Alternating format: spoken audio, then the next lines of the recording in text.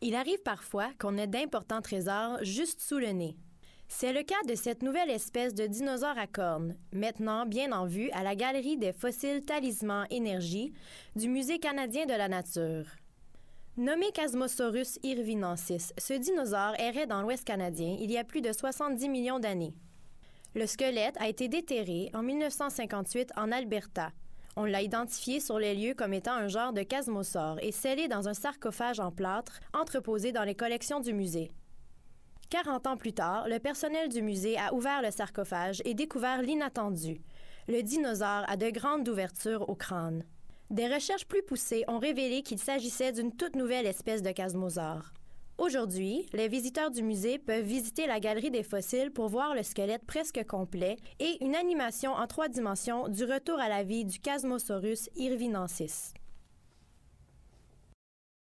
Ceci était l'un des trésors du Canada.